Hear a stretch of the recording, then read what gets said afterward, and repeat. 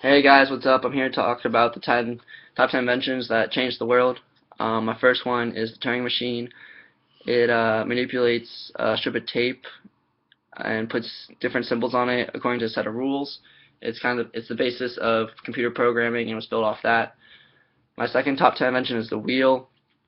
It uh, helps with cars, automobiles, improves efficiency exponentially. It uh, has really helped us come to where we are today.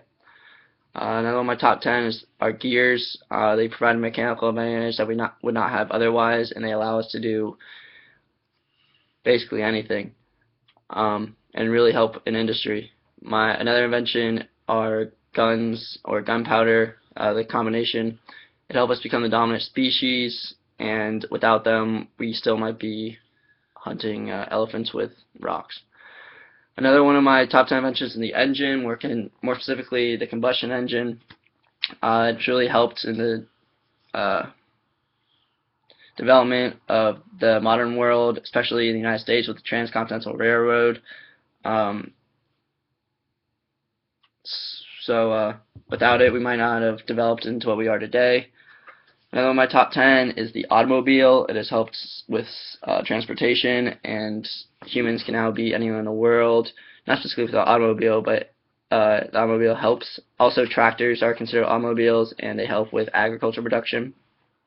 Then my top 10 is the cellular phone. Uses radio waves to communicate, and now people can communicate from anywhere in the world,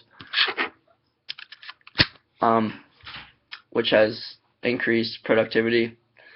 Uh, the refrigerator is another one of my top 10 is preserve food and reduce food scarcity in uh, a lot of the world, but still some places do not have it.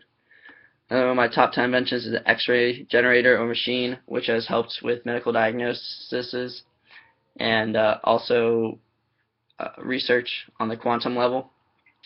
And my last invention is the shoe. Without it, people uh, would not have the type of mobility that we have right now. Um, they even had it in ancient times, and without it, uh, more infections and less longevity would ensue.